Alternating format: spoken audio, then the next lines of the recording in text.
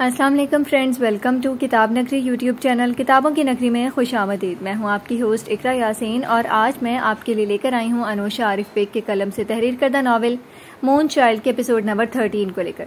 इस एपिसोड को स्टार्ट करने से पहले आप जल्दी से कर लीजिए हमारे चैनल को सब्सक्राइब, वीडियो को लाइक और क्लिक कर लीजिए बेलाइकन को। अब आते हैं एपिसोड की जानी। यह इस नावल का तेरहवा बाब बाप का नाम है असूल परस्त। वो वक्त अब भी आता है जो आते नहीं, बस वो लोग हैं। नया साल था, माह जनवरी के सर्द दिन थे बर्फबारी सारे मुल्क में जारी थी। लंदन भर भी सफेदी छाई थी, वो एक सर्द बर्फ़ जैसे सुबह थी। सूरज कहीं दिखाई नहीं देता था। बाहर का खूबसूरत मंजर वो अपने कमरे से मलिक बालकनी में खड़ा देख रहा था। टी शर्ट और ट्राउज़र पर गर्म जैकेट पहने, एक हाथ में गर्म चाय का कप था। बाहर स्कूल के लिए निकलते बच्चे अपने चेहरों पर काबिल दीद मुस्कुराहट लिए बर्फ़ में खेल रहे थे।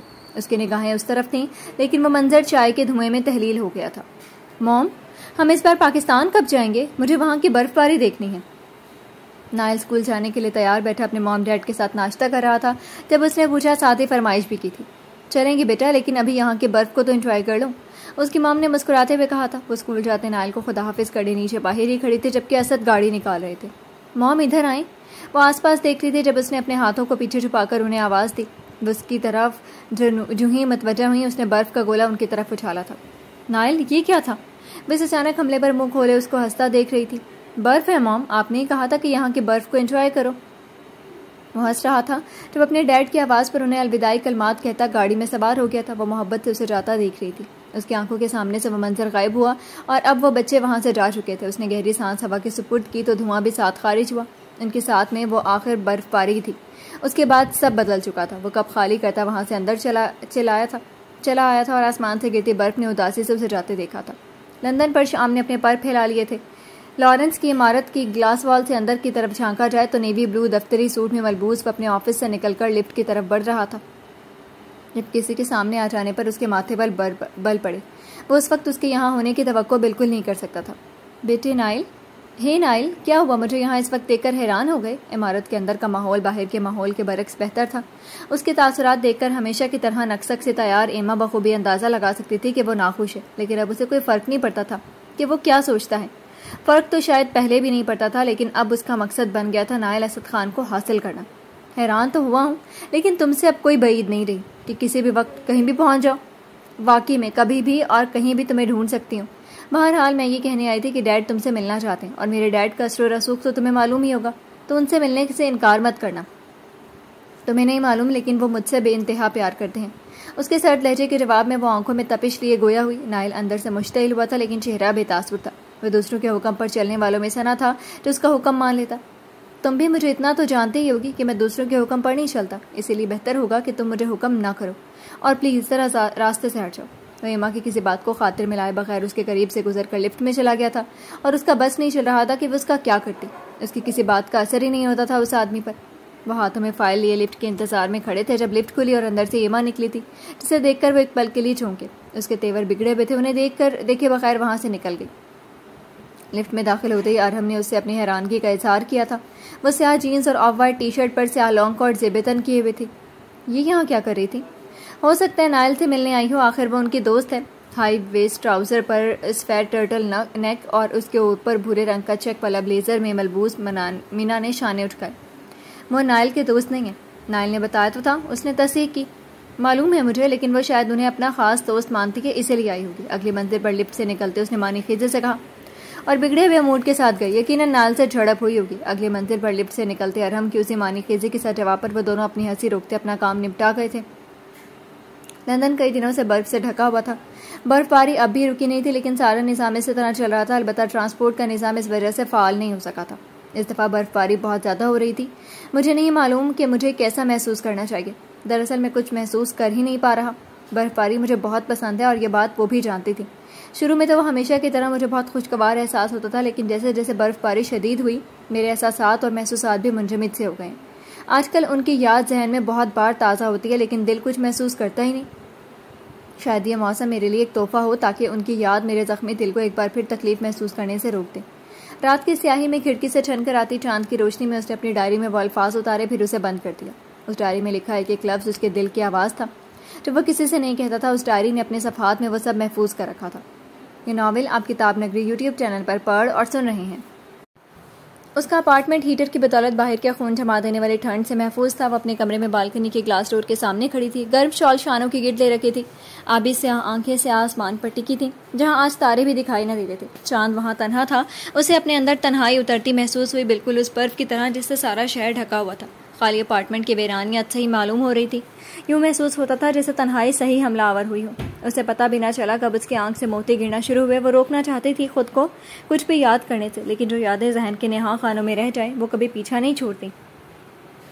जब दिल का दर्द बर्दाश्त से बाहर हो जाता है तो आँखों से बाहर आने लगता है। यही उसके साथ भी हो रहा था। जब कुछ देर बाद उसका फ़ोन बचा तो वो खुद को पुरसकून करती बेड के पास आकर साइड टेबल पर रखा फ़ोन उठाया। स्क्रीन पर नायल का नाम जगमगा रहा था। कैसी हो? और हमने बताया था कि तुम्हारी तबीयत ठीक नहीं है, इसलिए सोचा फ़ोन करके खैरियत पूछ लूँ। फ़ोन कान से लगाने पर नायल की धीमी आवाज़ सुनाई दी, जिस पर वह मध्यम सा मुस्कुराई थी। वह अब अपने करीबी लोगों के लिए, अब की अपने लिए फ़िक्र का इजहार करने लगा था। मैं ठीक हूँ, होम सिकनेस है, ख़त्म हो जाएगी। वो इतवार का दिन था और सुबह से ही उसे बुखार था। नायल अरहम से फ़ोन पर काम के मतलब के बात कर रहा था जब किसी बात पर ज़िक्र निकला तो उसे अरहम ने बताया था। उसकी आवाज़ नायल को बहुत धीमी महसूस हुई थी, जैसे बात करने में दिक्कत हो रही हो। उसे उसके लिए अफसोस हुआ था। अब तक उसने उस लड़की के साथ के मुख्तलिफ़ रंग देखे थे और सभी ने उसे हैरान कर गए थे। वाकई? लॉर्ड मेयर अब फ़िक्र मत करें कभी कभी ऐसा हो जाता है। उसकी तशवीश पर वो बस यही कह सके, ये तन्हाई उसे मारने की दर पर थी, लेकिन उसे मालूम था कि वो तनहा नहीं है। उसका रब उसके साथ है, लेकिन वो फिर भी वो इंसान थी और सारी ज़िंदगी तन्हाई और अकेलेपन में नहीं गुजार सकती थी। क्या सोच रहे हैं? काफ़ी देर तक उसके सांसों के मध्यम आवाज़ उस पार उसे सुनाई देती रही जब वो गोया हुई। वो जैसे चौंका था। बर्फ़बारी कितनी खूबसूरत लगती है ना? और साथ ही जालिम भी। वो बालकनी में खड़ा रीलिंग पर जमी बर्फ़ को देख रहा था। उसके लहजे की गहराई फ़ोन के उस पार मौजूद लड़की को उसके अल्फाज की शिदत महसूस करवा गई थी। जो चीज़ें दूर से खूबसूरत लगती हैं, वही अक्सर करीब से जालिम होती हैं। अपने शहर में उसे कैद करती कि फ़रार का कोई रास्ता ही नहीं बचता। इसके बाद से वह इतफाक़ के बगैर नहीं रह सका। आखिर बर्फ़ भी उन यादों को मुंजमिद नहीं कर सकी थी। ये नावल आप किताब नकरी यूट्यूब चैनल पर पढ़ और सुन रहे हैं। वो बार में लोगों के हजूम खुमर हजूम खुमर की बू और हल्की हल्के मौसीकी वाले माहौल में एक तरफ़ रखी मेज़ पर बैठी थी। हाथ में एक खमर से भरा गिलास था जिसे वह आहिस्ता आहिस्ता घूंढ पी रही थी। अब तुम्हारा क्या इरादा है? मैं उसे अच्छी तरह जानता हूँ एक मगरूर वकील है जिसको मुँह नहीं लगाना चाहता, उसे नहीं लगाता। उसके सामने कुर्सी पर बैठे हाथ में खमर का गिलास लिए, शख्स ने कहा एमा ने सर उठाकर उसे देखा तो उसकी आँखों में उसे एक आग नज़र आई, इंतकाम की आग। उसने बार बार मेरी तस्लील की है एलेक्स उसे तो खुद को खुशकिस्मत समझना चाहिए था कि मैं खुद उसके पास आना चाहती हूँ, लेकिन उसने मुझे बुरी तरह से रिजेक्ट किया। अब इसका खमियाजा तो भुगतना ही पड़ेगा ना? उसे नहीं मालूम कि वकालत किसी और को भी आती है, और बहुत अच्छी आती है। उसका लहजा इंतकाम का इजहार करता था, एलेक्स ने गिलास अपने लबों से लगाया और एक घूंट लेकर गोया वो। तुम सही कह रही हो। ये नावल आप किताब नगरी यूट्यूब चैनल पर पढ़ और सुन रहे हैं। मार्च का महीना आन पहुँचा था, मौसम में बाहर नया वक्त ले आया था, दरख्तों पर फूल फिर से खिलने लगे थे, वो रोज़ इतवार था और शाम का वक्त था।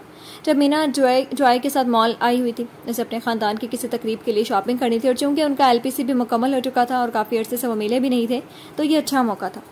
इतने दिनों बाद अर्ज़ फुर्सत मिल गई खैर, फुर्सत मेरे लिए तो नहीं, लेकिन फिर भी मैं खुश हूँ कि तुम्हारे साथ आउटिंग हो गई। वह तो मैं शॉपिंग बैग, थामे लिफ्ट से नीचे आ रहे थे। जब जॉय ने अपनी असली चहकते अंदाज में कहा, उसकी बात से मीना ने इतफाक़ किया।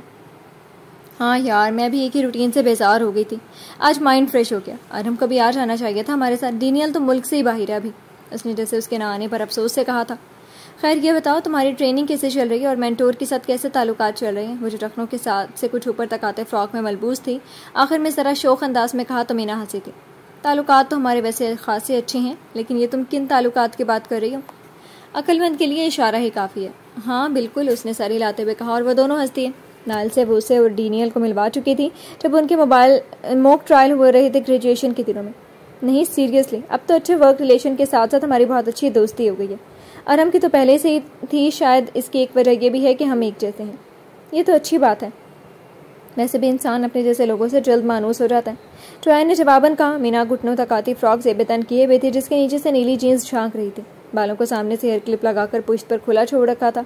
उसके फ़ोन पर मैसेज का नोटिफिकेशन आया था। मीना ने फ़ोन खोल कर देखा तो अरहम का पैगाम था। अरहम का मैसेज था, पूछ रहा था, कहाँ पर हो? वो भी आ रहा है। जवाब लिखकर भेजने के बाद उसने बताया तो वो मुस्कुराई। ओह तो उसे एहसास हो गया कि उसे भी साथ होना चाहिए? उसने मज़ाक में कहा था, कुछ ही लम्हों में जीन्स और स्यार टी शर्ट में मलबूस फ़ोन के सामने था। लेडीज़ कुर्सी घसीट कर बैठते हुए उसने पुरजोश अंदाज में कहा था, क्या हाल है? ड्राई की तरफ़ देखते पूछा। मैं तो वैसे ही हूँ, जैसे पहले था। अच्छी बात है, वैसे भी तुम सुधर तो सकती नहीं। हो तो क्या करें? उसके चिड़ाने वाले अंदाज पर मीना को हँसी आ गई, जबकि उसने उसे घूरा था। तुम मेरे बारे में ऐसा सोचते हो? हाँ मेरा मतलब है नहीं जानबूझकर जबान से निकला जिस पर वो मुँह मोड़ कर बैठ गई। तुम ये सब कहने आए हो यहाँ? क्यों तंग कर रहे हो? हम जॉय को, इतने दिनों बाद हम मिले हैं तो सही तरह से मिल लो, बाद में लड़ लेना। मीना ने हँसी काबू में करते कहा था, लेकिन सबको मालूम था कि जॉय भी नाटक करेगी, उन सबका मज़ाक चलता रहता था। अच्छा ना, चलो फिर अपना मुँह ठीक करो जॉय मूड की बात करो लेकिन क्योंकि मेरा मुँह पहले ही बिल्कुल ठीक है। मैं उसे घूरते घोया हुई थी, जबकि वो दोनों अपनी हँसी मुश्किल दबाते हुए बैठ बैठे थे। फिर वो अपने वापस अपनी पुरानी यादें ताज़ा करने लगे थे। ये नावल आप किताब नगरी यूट्यूब चैनल पर पढ़ और सुन रहे हैं। आसमान की स्याह चादर पर तारे मोती की तरह चकमका रहे थे। उसके अपार्टमेंट का नीम रोशन लिविंग रूम खामोश था, जिसके रास्ते राहदारी में दाखिल होकर देखो तो स्टडी की बत्तियाँ रोशन थी। जहाँ वो सोफे पर टांग पर टांग चढ़ाए बैठा था, हाथों में भूरी जल्द वाली फ़ाइल लिए, उस पर नज़रें जमाए हुए था। उस फ़ाइल की तरफ़ मुकम्मल तौर पर मतवजा था। जब सामने सेंट्रल टेबल पर रखे फ़ोन पर मैसेज की रिंग टोन बजने पर सर उठाकर देखा, स्क्रीन पर एमा का नंबर जगमगा रहा था। चेहरे पर गहरी संजीदगी लिए उसने फ़ोन उठाकर मैसेज खोला तो उसके चेहरे के नकूश तन गए। कुछ लम्हों बाद फ़ोन वापस रखते उसने अपनी पुष्ट सोफे की बैक रेस्ट से टिका दी। स्टडी में एयर कंडीशन की ठंडक में उसका दिमाग एमा की जानब से मिलने वाले उसी पैगाम के मतलब में उलझ गया था। यह नावल आप किताब नखरी यूट्यूब चैनल पर पढ़ और सुन रहे हैं। तुम जो पाओगी तो खोया हुआ पाओगी मुझे। मेरी तन्हाई में ख्वाबों के सिवा कुछ भी नहीं। बाहर की एक दोपहर थी, सूरज की सुनहरी रोशनी लॉरेंस के शीशे की इमारत पर पड़ रही थी। नायल के ऑफ़िस का माहौल बाहर की निस्बत ठंडा था, मेज पर लैपटॉप खुला पड़ा था, कुछ फाइलें रखी थी जिनमें से एक उसके सामने रखी थी, जो अपनी जगह पर बराजमान किसी गहरी सोच में लगता था। सामने वो बैठी थी जिसकी निगाहें उसकी सुरमई आँखों पर ठहर गई थी। वो सुरमई आँखें किसी गहरी सोच में मुबतला लगती थी। उनमें कुछ था जो हर कोई देख नहीं सकता था। कुछ जाके कोई समझता उनमें राज छुपा था उसकी ज़ात के पहलू का जो कोई नहीं समझ सकता था। या फिर उसे किसी ने समझाने की कोशिश नहीं की थी। लेकिन अब कोई उसकी ज़िंदगी में था जो उसके, इसके बगैर कहे, उसे समझने लगा था। नायल मीना ने पुकारा, लेकिन जवाब न था। नायल एक बार फिर उसने पुकारा तो आखिरकार वो अपनी सोचों के भंवर से निकलने में कामयाब हुआ था। हाँ क्या बात है? स्याह रंग के दफ्तरी सूट से बेतन किए उंगलियों के पूरों से कनपटी से लाते वो गोया हुआ तो वो उसे गौर से देखने लगी। ये तो आप बताएँ, आपको कब से पुकार रही थी, लेकिन आप पता नहीं कौन सा मुल्क फतह कर रहे थे। आपकी तबीयत ठीक नहीं है शायद। हल्का सा सर में दर्द है, बाकी तो मैं फिट हूँ। मसनू मुस्कुराहट लिए उसने कहा, लेकिन हकीकत तो ये थी कि काफ़ी दिनों से वह जहनी इंतशार में मुबतला था। और ये सर दर्द हो क्यों रहा है? मुझे मालूम है आपको सर्वाइकल है सर्विकल है। नायल ने उसे देखा, जो नीले रंग के फ्लोरल फ्रॉक पर ब्लेजर पहने हुए बालों का सामने से हेयर स्टाइल बनाकर हेयर क्लिप लगाए हुए पहले ही से फिक्रमंदी से देख रही थी। उसकी गर्दन और सर में दर्द को पहले भी नोट कर चुकी थी, लेकिन अब अपने सामने उसे तकलीफ़ में देखकर वो कहे बिना नहीं रह सके। तुम्हारी ऑब्जर्वेशन काबिल सतश है, मीना। बात को घुमाए मत अब। उसने हल्का सा मुस्कुरा कर कार इस पर वो बिगाड़ कर गोया हुई। काम की स्ट्रेस की वजह से यह फ़िक्र की कोई बात नहीं है। वह सिर्फ़ ठहरा कर टहला कर बोल टहला रहा था। फ़िक्र की बात तो है। अपना ख्याल रखा करें, क्योंकि इंसान को अपने लिए ज़िंदगी गुजारना आना चाहिए। उसका लहजा एकदम संजीदा हो गया था। सुनाइल के लिए नया नहीं था, लेकिन हर बार की तरह उसे खुद पर गौर करने पर ज़रूर मजबूर कर देता था। वो कहकर जा चुकी थी, लेकिन कुछ देर तक उसकी बात नायल के कानों में गूंजती रही थी। ये नावल आप किताब नकरी यूट्यूब चैनल पर पढ़ और सुन रहे हैं। अपनी डेस्क पर ग्लास वॉल से टेक लगाया हाथ, सीने पर बांधे खड़ी किसी सोच में लग रही थी, जब बरहम की पुकार पर उसकी तरफ़ देखा। क्या सोच रही हूँ? वो अपने डेस्क पर मौजूद कुर्सी की पुष्ट से टेक लगाया उसे गौर से देख रहा था, जिसे उसे पढ़ने की कोशिश कर रहा हूँ। तुमने गौर किया, काफ़ी दिनों से नायल किसी बात को लेकर अपसेट लग रहे हैं। उसके बाद पर वह ज़रा आगे को हुआ। मैंने भी ये बात नोट की है, लेकिन शायद वो बताना नहीं चाहते। कुछ भी मसला हो सकता है। हम्म। उसने बेदिली से कहा, जैसे वो उसके खोए खोए तासुरात अपने जहन से महव ना कर पा रही हो। खैर, जो भी बात है, मुझे उम्मीद है वो उसे जल्दी सॉर्ट आउट कर लेंगे। मैं गहरी सांस लेती, कुर्सी पर बराजमान होकर मेज़ पर रखी फ़ाइल देखने लगी थी। जबकि अरम भी अपने काम में मसरूफ हो गया था, लेकिन उसका जहन किसी चीज़ पर अटक गया था, जिस पर वो मशकूक हो गया था। ये नावल आप किताब नगरी यूट्यूब चैनल पर पढ़ और सुन रहे हैं। सर ये बात आपकी मेरे लिए बतौर एक ईमानदार वकील मुमकिन नहीं है। आई एम सॉरी मैं ये नहीं कर सकता। उसके लहजे में तासब था जिस पर सामने बैठे लॉरेंस के डायरेक्टर ने सर उठाकर उसे ऐसे देखा जैसे वो जानते थे कि वो यही कहेगा। उन्होंने नायल को अपने ऑफ़िस में बुलाया था क्योंकि उन्हें एक अहम बात करनी थी। और वह बात उसके लिए सुनने में जितनी भी आसान हो, उसको अमल में लाना उसके लिए नामुमकिन था, क्योंकि वह ऐसा करना ही नहीं चाहता था। वो अपने पेशे से मुखलिस था। कैसे उससे बेईमानी करता? देखो नायल तुम्हारी, तुम हमारी फॉर्म की एक बेहतरीन नौजवान वकील हो। मैं नहीं चाहता कि इस केस की वजह से तुम्हारे करियर पर बुरा असर पड़े, इसलिए कह रहा हूँ। खैर, तुम सोच लो, फिर अपना जवाब देना। करियर के लिए बड़ी बड़ी कुर्बानियाँ देनी पड़ती हैं और मैं चाहता हूँ कि तुम इस बात को समझो। उनकी बात उसके जहन में ख़तरे की घंटी बजा रही थी, लेकिन वो भी नायल असद खान था। उन खतरात से खौफसदा होने वालों में से नहीं था। ये नावल आप किताब नगरी यूट्यूब चैनल पर पढ़ और सुन रहे हैं। उलझनों में डूबा था मैं, वो एक सिरा थमाकर चला गया। अपने कमरे में मौजूद थी जो उस वक्त नीम रोशन था, बेड पर नीम दराज हाथों में कोई नावल था, जिसे वो पढ़ने की कोशिश कर रही थी। लेकिन जहन में तस्वुर नहीं ला नहीं ला पा रही थी। शायद उसका दिमाग वहाँ उलझा था जहाँ उसे खुद भी खबर नहीं थी। उकताकर उसने नावल बंद करके साइड मेज़ पर रख दी और सर उठाकर छत को घूरते उसके दिल में ख्याल आया। उठ खड़ी हुई थी।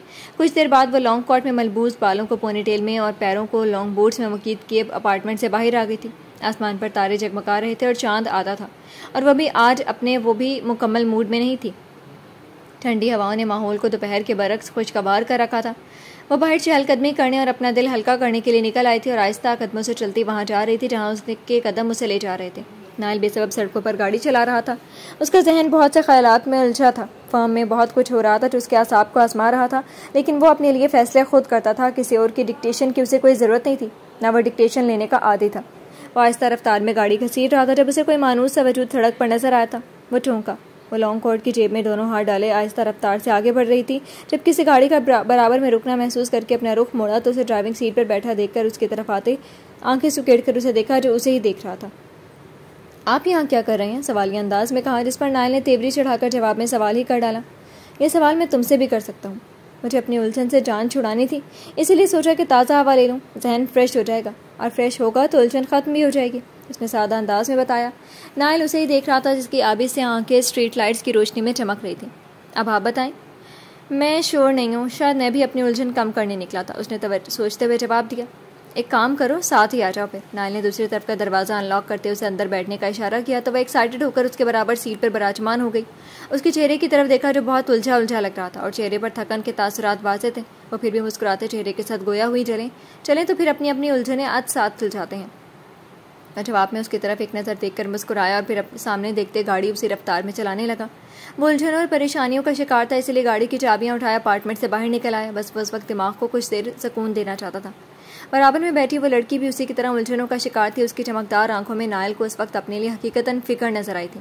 उसे मालूम था कि वह किस बात पर उलझी हुई है, लेकिन वो अपनी वजह से किसी को परेशान नहीं करना चाहता था। वो खुले शीशे से बाहर देख रही थी। इख्तामी बहार के मौसम की फिजा उसकी तबीयत पर अच्छा असर कर रही थी। उसने सीट के पुष्ट से सर टिकाकर आँखें बंद कर ली, जब नायल ने उसकी तरफ़ देखा, जिसका चेहरा पुरसकून लग रहा था।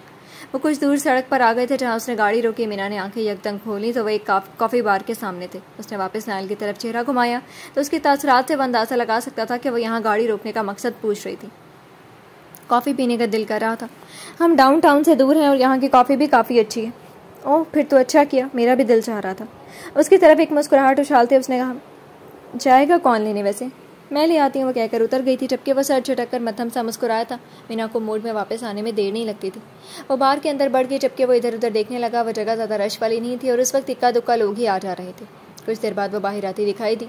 दोनों हाथों में कॉफ़ी के कप थे। वो अपनी रूम में आगे बढ़ रही थी, जब अचानक से किसी ने उसे खींचा था। वो बुरी तरह से चौंक कर उस शख्स से आ लगी थी। कप में से कॉफ़ी छलक गई। शुक्र है कपड़े या हाथ पर नहीं गिरी थी। फ़ौरन ही ना समझी से ज़रा की ज़रा नज़र उठाकर देखा तो वो शख्स नायल था, जिसके शाने से वो लगी खड़ी थी। उलझी उलझी नज़रों ने से उसे देखकर उसने गाड़ी के दरवाजे को देखा जहाँ गोली का खौल मौजूद था। उसके मंतशिर जहन में कोई झुमाका सा हुआ था। लम्हा भर में वह हवास में लौटती सीधी हुई नायल ने उसका बाजू अपनी गिरफ्त से आज़ाद किया था। ये क्या था? उसने सवालिया तासुरात चेहरे पर सजाए उससे इस्तफसार किया जो आसपास निगाह दौड़ा रहा था। वह हमलावर को ढूंढ रहा था और जब कहीं नज़र नहीं आ रहा था। वह समझ चुका था कि ये किसने करवाया। वह ये भी जानता था कि वो उसे मारना नहीं चाहते थे। महज उसे डराने के लिए गोली चलाई गई, लेकिन मीना पर क्यों निशाना लिया गया? वो ये फ़िलहाल समझ नहीं पा रहा था। नायल ने उसकी तरफ़ देखा जिसके चेहरे पर तशवीश और उलझन नुमाया थी। नीना ने कॉफ़ी का कप उसके जाने बढ़ाया, जिसे उसने गायब दिमागे से थाम लिया था। वो उसे बाहर से निकलते देख रहा था, जब साइड मिरर से उसे कोई वजूद हाथों में गन थामे, उसे दिखाई दिया था। उसका निशाना जिस तरफ़ था, वो फ़ौरन गाड़ी से उतरकर उस तरफ़ भागा था। उसका दिल उस वक्त ज़ोर से धड़क रहा था। गाड़ी में बैठो जल्दी, कहते हुए उसके लिए गाड़ी का दरवाज़ा खुला तो वो उसे तशवीश से देखती, अंदर बैठ गई। फिर वो दरवाज़ा बंद करते अपनी तरफ़ आया और ड्राइविंग सीट संभाल चुका था। क्या हुआ नायल एक तो आपने मेरी बात का जवाब नहीं दिया और अब कॉफ़ी भी ठंडी करवा रहे हैं। उसके लहजे में गुस्से की आमेजिश थी, बेतासुर चेहरे के साथ लब भींचते, गाड़ी चलाते नायल का बेतासुर लहजा अब नर्म लहजे में तब्दील हुआ था। उसने अब उसके अपार्टमेंट के करीब ही कहीं गाड़ी रोकी और गोया हुआ। तुमने अपनी कॉफ़ी क्यों ठंडी की? वजह से अफसोस कर रहा था। लेकिन मीना को फ़िलहाल उसकी हरकतों पर गुस्सा आ रहा था। भड़क कर गोया हुई, आपको लगता है अभी कुछ देर पहले जो हुआ उसे भूलकर मैं अपनी कॉफ़ी आराम से पी सकती थी? नायल ने सामने सड़क पर देखते गहरी सांस हवा के सुपुर्द की, जैसे कोई इरादा कर लिया हो क्योंकि मीना असल बात जाने बगैर चैन से नहीं बैठ सकती थी। कुछ देर पहले जो हुआ था, वो मेरे एक अमल का रद्द अमल था, बल्कि ये कहना चाहिए कि एक धमकी थी। उसी तरह सामने देखते गोया हुआ तो वो गौर से उसे सुनने लगी। एमा को तो तुम जानते ही हो, उस लड़की के ज़िक्र पर चौंकी। हाँ वो उसे सब बताता चला गया, और अब वो सारी बात हजम करने की कोशिश कर रही थी। चेहरे पर उस मामले के बायस नापसंदीदगी के तासरात वो देख सकता था। मतलब वो लड़की आप में शदीद इंटरेस्टेड है कि आपका रिजेक्ट करना, उससे बर्दाश्त ना हुआ और अब वो इन हरकतों पर उतर आई है। तभी मैंने उस दिन सोचा था कि वो खुद को आपके दोस्त की हैसियत से क्यों मुतारफ़ करवा रही थी। हालाँकि आपने तो उसे दोस्त नहीं कहा था। सारी बात का खुलासा उसने कर डाला था। उसके कैरेक्टर के बारे में मीना, मैंने मीना को ढके छुपे अल्फाज में बताया था। नायल की नज़र में वो ऑब्सेशन का शिकार थी, जिसकी ख्वाहिश की उसे पाने के लिए अपनी जिद पर अड़ जाने वालों में से चाहे दूसरे के ख्याल और ख्वाहिशात जो भी हों, वो अपने चलाने वालों में से थी। लेकिन नायल दूसरों के हुक्म पर चलने का कभी पाबंद नहीं रहा था। कैसे उसके ऑब्सेशन को मोहब्बत समझ लेता? बात सिर्फ़ ये होती तो ज़्यादा मसला नहीं था। लेकिन जो अब वो अपने बदला लेने के लिए करियर के हवाले से जो अटैक कर रही है, उससे मसला पेचीदा हो गया है। मुझे यकीन है कि इस गोली गोली का मकसद महज धमकाना था, लेकिन ये वार्निंग भी होती थी कि अगर वो केस ड्रॉप ना किया तो कुछ बुरा हो सकता है। वो उसकी तरफ़ देखते कह रहा था, वो उसकी सुरमई आँखों में इस तरह आप देख सकती थी, जो वो अपने लहजे में ज़ाहिर नहीं होने दे रहा था। ये काफ़ी हसास मसला है, अब आप क्या करेंगे? फ़िक्र मत करो, इसका भी हल निकालूँगा आपके बारे उसने गहरी सोच में जाते कहा था। मुझे फ़िक्र से उसे देख रही थी, मुस्कुराकर उसके बाद से इतफाक़ किया। मुझे यकीन है कि आप हल निकाल लेंगे, लेकिन प्लीज़ सबसे पहले अपना सोचिएगा, अपने करियर का, क्योंकि हम जब तक खुद को मज़बूत नहीं करेंगे और खुद के लिए श्योर नहीं होंगे, उस वक्त तक हम किसी और के लिए नहीं लड़ सकते। नाल उसकी तरफ़ देखकर ज़रा सा मुस्कुराया था, जैसे उसे खुद पर यकीन करने का कह रहा हूँ। उनका आपस में यकीन का रिश्ता मज़बूत होता जा रहा था और से आसमान पर यह मंजर खुद में जज ये नावल आप किताब नगरी यूट्यूब चैनल पर पढ़ और सुन रहे हैं। मीना को उसके अपार्टमेंट ड्रॉप करने के बाद वो अपने अपार्टमेंट आ गया था। बिस्तर पर दराज हुआ तो नींद आँखों से कोसों दूर थी। अपने उसे अपने असूलों और अपनी मर्ज़ी पर खड़े रहने पर ऐसे मसाल दरपेश आ रहे थे कि उनसे जान छुड़ाना उसके लिए नागुजेर हो चुका था। उसे सबसे फ़र्क नहीं पड़ना चाहिए था, लेकिन वो बेसकून हो रहा था। ज़िंदगी में बेसकूनी वैसे ही कम न थी कि कुछ लोग महज अपनी ज़िद पर उसे नुकसान पहुंचाना चाहते थे। उसने तो कभी किसी का कुछ नहीं बिगाड़ा था, लेकिन लोग क्यों उसकी ज़िंदगी को मुश्किल बनाना चाहते थे? ऐसा काफ़ी सालों से पहले भी हुआ था और ऐसा अब भी हो रहा था, लेकिन अब एक बात का फ़र्क था कि उस वक्त का नायल कुछ नहीं कर सका था और अब का नायल अपने लिए लड़ना जानता था। बिस्तर पर लेटे वो छत को घूर रहा था। जब उसके जहन में वो ख्याल आया था कि अगर वो उस वक्त ना देखता और गोली वाकई मीना को लग जाती तो क्या होता? वो नहीं चाहता था कि उसके बदले का नुकसान किसी और को पहुँचे और वो तो फिर वो लड़की थी जिसकी बातें उस पर गहरा असर रखती थी, जिसकी मौजूदगी में उसे हर तरफ़ उजाला महसूस होता था। वो उठा बेड की साइड टेबल की दराज से लाइटर और सिगरेट का पैकेट निकालकर उसमें से सिगरेट निकाली और बालकनी में आ गया। चाँद की धीमी रोशनी से मैं वो सिगरेट की कश लेते अपने तराब पर काबू पाना चाहता था। ये नावल आप किताब नगरी यूट्यूब चैनल पर पढ़ और सुन रहे हैं। रात के तकरीबन आठ बज रहे थे। उस दिन वो फार्म से जल्दी फारिग होकर घर आ गया था। एडी ऑफ़िस से वापसी पर उससे मिलने आया था। वो दोनों लिविंग रूम में बैठे थे। एमा वाकई खतरनाक हरकतें करेगी क्या कोई और भी है उसके साथ इस खेल में शरीक? एडी ने उसकी तरफ़ फ़िक्र से देखते सवाल किया। वो उसके लिए अब फिक्रमंद हो रहा था। वही तो उसका वाहिद दोस्त था और उसकी हर बात से वाकिफ था। नाइल ने दोनों शाने हुए, यूँ उचकाते जैसे, उचकाए जैसे कोई फ़र्क ना पड़ता हो। यकीनन है और वो एमा को उकसा रहा है मुझसे बदला लेने पर। कौन है वो?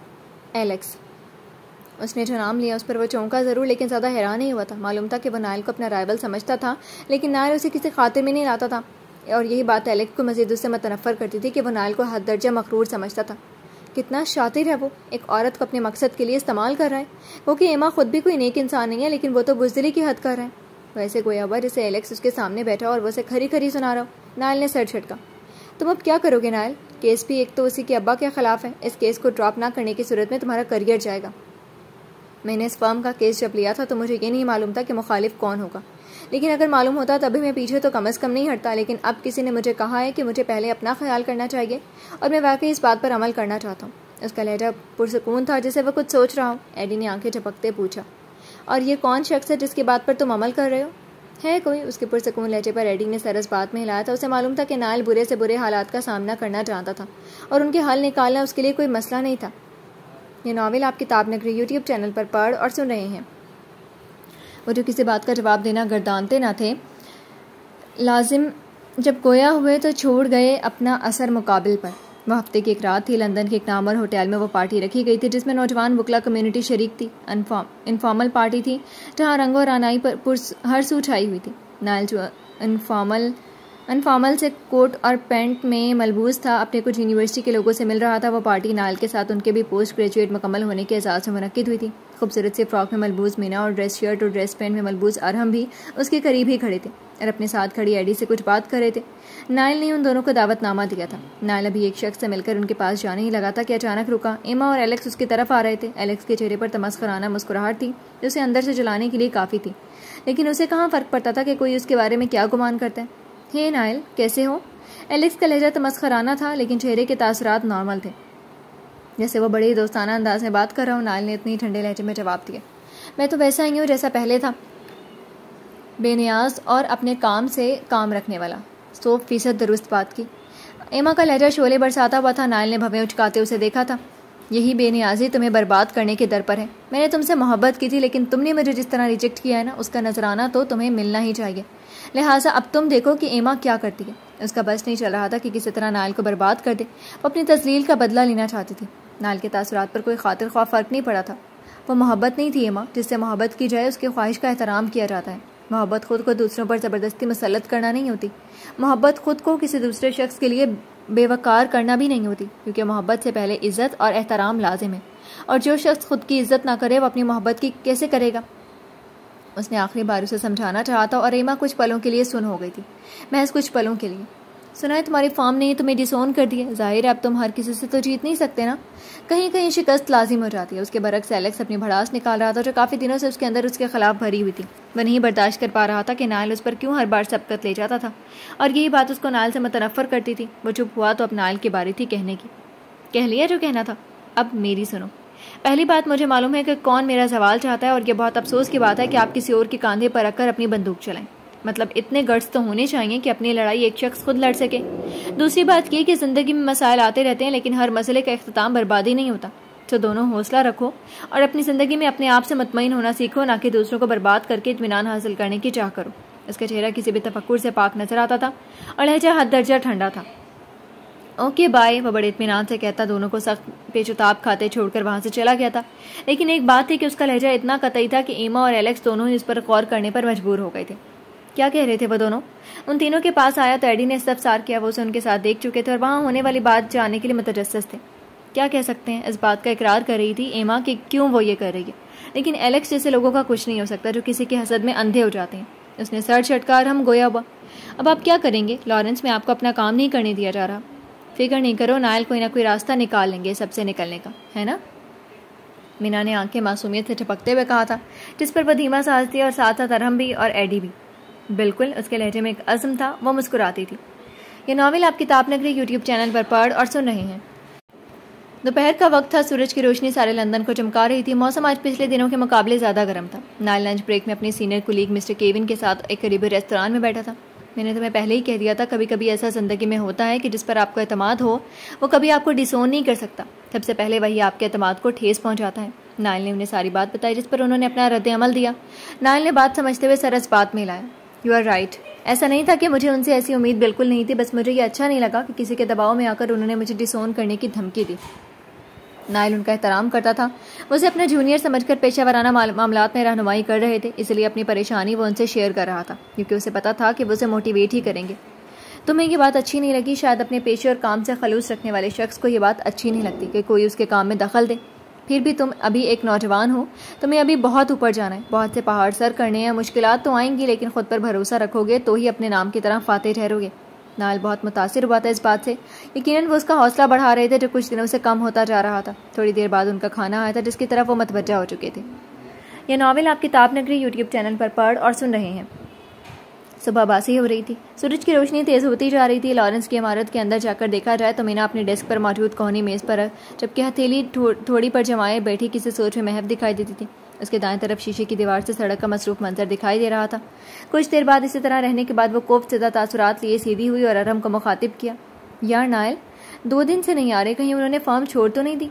हो सकता है उनका हाल चाल पूछ लो, फ़ोन पर पता चल जाएगा कि क्यों नहीं आ रहे। आखिरी दिनों जब वो आ रहे थे तो कुछ डिस्टर्ब लगते थे। हालाँकि कहते कुछ नहीं थे, लेकिन हमसे तो अब वो अपनी कैफियत नहीं छुपा सकते ना। अरम के लहजे में उसकी फ़िक्र महसूस करके वासुदा नज़रों से उसे देखने लगी। नायल को वो दिल से अपना बड़ा भाई मानता था। और नायल भी उसे बड़े भाई की तरह ही ट्रीट करता था। उसके ख्याल में ये बात खुश आइन थी कि अरहम के पास अब उसके अलावा भी कोई था, जो उसे अपने दिल के करीब महसूस होता था। कहाँ गायब हो? उसके गौर से उसे देखने पर वो चौंक कर मंजर में वापस लौटी थी। कहीं नहीं, तुम ठीक कह रहे हो, फ़ोन करूँगी मैं उन्हें। वो कहती है वो अपने काम की तरफ़ मतवजा हो गई थी, जबकि वो अभी वापस अपना काम करने लगा था। ये नावल आप किताब नगरी यूट्यूब चैनल पर पढ़ और सुन रहे हैं। रात की स्याही आसमान पर छाई हुई थी, नायल अपने अपार्टमेंट में स्टडी में मौजूद था, जो उस वक्त नीम रोशन था। थी काउच पर टांग पर टांग रखे हुए किसी फ़ाइल में उलझा था। सामने मेज पर लैपटॉप खुला रखा था और कुछ फाइलें पड़ी थी। साथ में कॉफ़ी का खाली मग भी रखा था। वो अपने काम में महफ था। जब मेज पर ही रखा, उसका फ़ोन थर थर आया। उसने निगाह उठाकर देखा तो स्क्रीन पर मीना का नाम जगमगा रहा था। उसने हाथ में पकड़ी फ़ाइल को मेज़ पर बंद करके रख दिया और फ़ोन उठाकर कान से लगाया। हे मीना, हाय नायल कैसे हैं? उसके खुश मिजाजी से गोया होने पर मीना ने भी उसी तरह उसकी खैरियत दरियाफ्त की। मैं बिल्कुल ठीक हूँ। तुम सुनाओ, सब खैरियत? कहाँ खैरियत है? क्यों? क्या हुआ? उसके डरामाई अंदाज में कहने पर वो मतफक्र हुआ, जिस पर वह फ़ोन के उस पार मुस्कुराहट दबाते हुए कहने लगी, आप दो दिन से गायब हैं, बस इसी वजह से। ओह, तुम्हारा ड्रामाई अंदाज भी ना, वो हंसा था। तो अब बताएँ कहाँ गायब हैं? कहीं गायब नहीं हो, इधर ही हो। तुम ये बताओ, हम मिल सकते हैं? नाइल का लहजा ना हुक्मिया था ना अल्तजाई लेकिन बात को घुमाने की वजह उसे समझ में नहीं आई थी। ज़रूर मिल सकते हैं। ओके तो फिर कल मिलते हैं, शाम में, और हमको भी बता देना। ठीक है, अल्लाह हाफिज़ अल्लाह हाफिज़। अलविदाई कलमात कहते, वो फ़ोन रख चुके थे। नाइल कुछ लम्हे फ़ोन रखकर ऐसे ही बैठा रहा, फिर वहाँ से उठ गया, वह बाकी मीना की बात पर अमल करने जा रहा था। इसके बाद जो उसने कुछ दिनों पहले कही थी, वो उसे भूल नहीं सका था और इस बात ने अब खुद उस पर उससे अमल करवा कर ही दम लिया था। दूसरी तरफ़ मीना अपने कमरे से मलिक बालकनी में दीवार से टेक कर टेक लगाकर रीलिंग पर हाथ रखे खड़ी आसमान को देख रही थी। खुली जुल्फे हवा से उड़, उड़कर चेहरे पर बिखर रही थी, चेहरे पर पुरसोच तासुरात थे। नाल ने उसकी बात का जवाब नहीं दिया था, बल्कि कल मिलने का कह दिया था, वो अंदर से उलझ गई थी। ये नावल आप किताब नगरी यूट्यूब चैनल पर पढ़ और सुन रहे हैं। अगले दिन फॉर्म से वापसी पर वो अपने डाउनटाउन कैफ़े में मौजूद थे। कैफ़े में मामूल का रश था। वही ग्लास वॉल के साथ वाली मेज़ पर नायल उन दोनों के सामने बैठा था। सब खैरियत है नायल? और हम उसके चेहरे पर छाया था। सब देखकर बेसाख्ता गोया हुआ था, नायल अब मुद्दे पर आया था। सब खैरियत है? मैंने तुम लोगों को कुछ बताने के लिए यहाँ बुलाया है और दोनों पूरी तरह उसकी तरफ़ मतवजह हुए। मैंने लॉरेंस को खैराबाद कह दिया। है दोनों की आँखें खुली। आप पर एमा के फादर की वजह से प्रेशर था इसलिए? और हमने पूछा, लॉरेंस के मालिक और एमा के डैड के बड़े अच्छे ताल्लुक थे। उसके डैड की कंपनी पर जो चार्जेस थे, गोया क्योंकि वो सीरियस चार्जेस थे, लेकिन फिर भी कंपनी किसी फेवर के बगैर अपना दिफा करने की अहलियत रखती थी। लेकिन एमा के ख्वाहिश पर उसके डैड ने लॉरेंस के मालिक के ज़रिए नायल को ब्लैकमेल करना चाहा था। हाँ यही बात है। पता है, जब हम किसी को अपना बेहतरीन दें, लेकिन वह किसी की खातिर आपको कुर्बान करने के लिए तैयार हो जाए तो फिर खुद को कुर्बान होने से बचाने के लिए कुछ करना पड़ता है। बस मैं वही कर रहा हूँ। उसका चेहरा बिल्कुल पुरसकून था, जैसे वो मुस्तकबिल की प्लानिंग करके बैठा हो। किसी के मातहत काम करना आसान नहीं होता, क्योंकि अपने असूलों को कुर्बान करना आसान नहीं होता। इसलिए मैं अपनी फॉर्म शुरू करने जा रहा हूँ। क्या तुम लोग उसमें मेरा साथ दोगे? उसने उन दोनों को देखा, उसकी सुरमई आँखें उसे उस वक्त कितना मज़बूत ज़ाहिर कर रही थी, ये सिर्फ़ वो दो ही जानते थे। दोनों को समझ नहीं आया कि इस पेशकश पर क्या कहें। मतलब वो उन दोनों को इतना अहम समझता था कि अपने साथ बतौर पार्टनर उन्हें शरीक करने की पेशकश कर रहा था।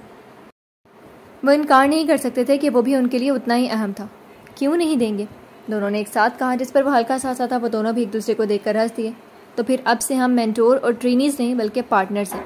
अग्रीड अग्रीड वो असम कर चुके थे। ये नावल आप किताब नगरी यूट्यूब चैनल पर पढ़ और सुन रहे हैं। दिन का वक्त था, वह एमा के डैड की कंपनी की इमारत थी, जहाँ वो अभी अभी अपने डैड के ऑफ़िस से आकर अपने ऑफ़िस में बैठी थी। एंड उसी वक्त दरवाजे पर दस्तक होने पर उसने सर उठाए बखैर दस्तक देने वाले को अंदर आने की इजाज़त दी। कम कैसी एमा? आने वाला एलेक्सा। एमा ने उसे एक नज़र देखा, फिर चेहरा फेर लिया। वह समझ गया था कि वह भी गैर मुतमिन है। उस पार्टी को एक हफ़्ते से ज़्यादा हो गया था और एमा के डैड ने उसे खबर दी थी कि नायल ने उनके खिलाफ केस छोड़ दिया और वह फॉर्म भी छोड़ चुका है। इस बात से बिल्कुल भी खुश नहीं हुई थी, क्योंकि यहाँ नायल ने अपना इतमान जो चुन लिया था। उसके साथ वैसा कुछ नहीं हुआ था जैसा वो चाहती थी। अलबत्त उसे जहनी तौर पर परेशान करने में वो कामयाब हो गई थी। फिर भी कि उसके लिए काफ़ी नहीं था। मुझे तो रखा था कि अब तुम अपना इंतकाम लेने के बाद मुतमिन होगी, लेकिन यहाँ तो कुछ और ही सूरत हाल है। इंतकाम तो वो होता है जिसमें मुकाबल बिल्कुल बर्बाद हो जाए। यहाँ तो वो अपने जहनी सकून के खातिर सब खुद ही छोड़ गया जहरखन लहजा था और अंदर से वह सख्त झुंझलाहट का शिकार थी। शायद नायल ने दुरुस्त कहा था कि जिससे मोहब्बत हो जाए, उसकी ख्वाहिश का एहतराम किया जाता है, उससे इंतकाम नहीं लिया जाता। एलेक्स ने तासब से उसे देखा, क्या करें अब? कभी कभी हर चीज़ सौ फ़ीसद हमारी मर्ज़ी के मुताबिक नहीं होती और जो होती है, उसे अपनी किस्मत समझकर कबूल कर लेना चाहिए इमा इमा ने गौर से उसे देखा। इतनी दानिशमंदी की तो से एलेक्स से हरगिज़ नहीं थी। ऐसे मत देखो, मुझे इससे हरगिज़ हमदर्दी नहीं है। मैं तो बस ये कह रहा हूँ कि हमें उसके पीछे नहीं भागना चाहिए, जो हमारी किस्मत में नहीं है, चाहे वो कोई इंसान हो या कोई शे आज तो मुझे हैरान कर रहे हो। वो वाकई हैरान हुई थी जबकि वो अब अपना वक्त किसी की हसद में बर्बाद नहीं करना चाहता था। और ये बात उसके दिल में उस दिन पार्टी में नाल के रवैये को देखकर आई थी। उससे जितना चिट्टा था, उतना ही नाल की शख्सियत उसे मुतासर करती थी। और अब की बार वो नज़रअंदाज नहीं कर सका था। पहली बार कोई दानिशमंदाना फैसला किया था उसने। ये नावल आप किताब नगरी यूट्यूब चैनल पर पढ़ और सुन रहे हैं। मौसम बहार अपने अख्ताम की जानी बढ़ रहा था। शाम का वक्त था, वो तीनों एक रेस्तोरान में मौजूद थे। रेस्तोरान में उस वक्त रश कम था और आज वो अपनी फर्म को ऑफ़िस देखने गए थे, जिसमें अभी रेनोवेशन का काम जारी था। नीना और अरहम ने भी लॉरेंस को एक साल मुकम्मल करने के बाद खैराबाद कह दिया था। वह बाकायदा नायल के साथ थे, दोनों ने अब कॉरपोरेट लॉ में एलएलएम में दाखिला ले लिया था। अरहम को वहाँ स्कॉलरशिप आसानी से मिल गई थी। वह जगह काफ़ी शानदार है। मीना ने अपने स्लश में स्ट्रॉ घुमाते हुए इश्तियाक से कहा, उसने सर हिलाया। मुझे भी हर लिहाज से बेहतर लगी थी। आपने मेरी बात पर अमल करके अच्छा किया। उसने फ़खरी अंदाज में कहा तो नायल ने भी ड्रामाई अंदाज में सर नीचे करके हिलाया। आपका बहुत शुक्रिया कि आपने मुझे इस मशवरे के काबिल समझा। और हम उन दोनों को देखकर हंसा। है ना? बस देख लें कितने शानदार लोग आपके साथ हैं। उसने गर्दन अखड़ाई, वो मध्यम सा हंसा। वो तो देख लिया। मुझे उम्मीद है एमा और एलेक्स अब आपकी जान छूट गई होगी। और हमने अपने स्लश का घूंट लेकर उसकी तरफ़ देखा। मीना ने दिलचस्पी से नायल को देखा। वो दोनों सिर्फ़ मुझसे ऑब्सेस्ड हैं। और कुछ नहीं। अब वो मेरे पीछे आए तो कुछ सीरियस उनके साथ करना पड़ेगा। लहजा हल्का था और उसका मूड खासा खुशगवार था। वो दोनों महसूस कर सकते थे उसकी उनसे कोई दुश्मनी ना थी। एमा को तवज्जो पसंद थी जो नायल ने उसे कभी नहीं दी थी। यही बात उसे नायल से अपसिस्ट कर गई थी, जबकि एलेक्स उसे देखकर एहसास कमतरी का शिकार होता था। कुछ लोग अपने सामने मौजूद इंसान को परफेक्ट समझते हैं और उनका मुकाबला गैर इरादी तौर पर खुद से करने लगते हैं, और वो भी उन्हीं में से था, हर इंसान की शख्सियत मुख्तलिफ़ होती है।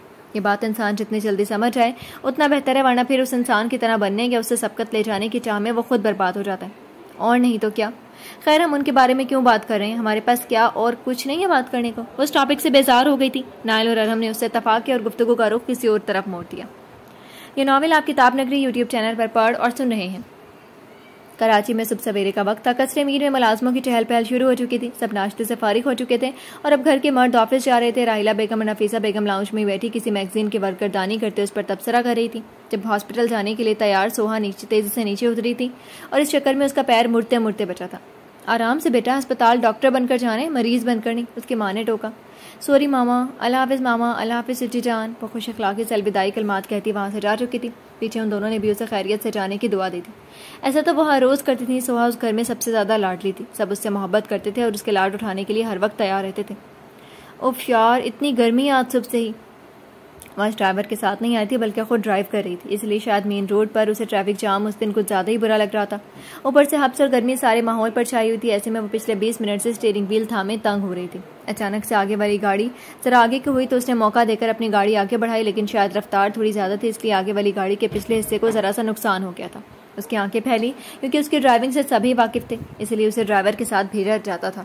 लेकिन ड्राइवर आज दस्तियाब ना होने की वजह से वो घर में सबको ये यकीन दिलाकर आई थी कि वो ख्याल रखेगी, लेकिन ये क्या? उसने तो गाड़ी को ठोकर मार दी।